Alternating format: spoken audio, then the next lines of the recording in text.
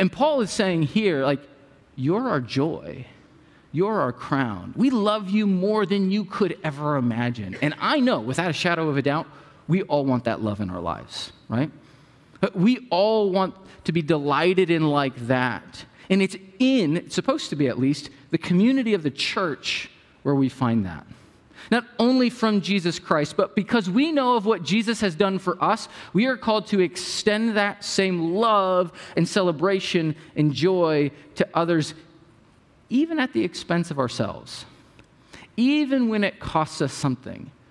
Because the hope is we know and have confidence that it will someday come around to us, that we live in this community of unconditional giving and receiving of love and joy. You're my crown, you're my joy, you're my prize. Because I see what Jesus has done in you and I get to play a small part of it. Why wouldn't I want to be in on that?